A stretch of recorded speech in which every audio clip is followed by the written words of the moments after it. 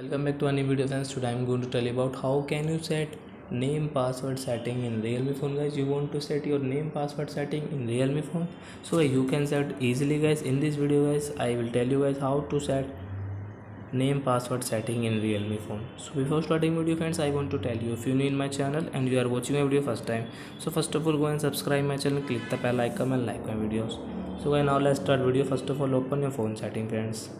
Then guys click on phone setting guys click on password and biometric.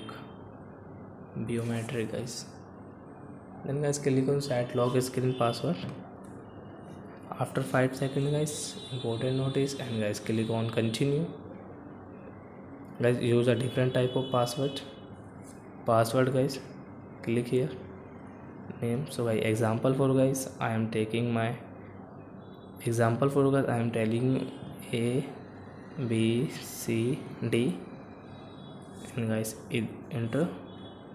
A B C D. Guys be, be careful here. Okay then enter guys. So right now you can see name password setting guys.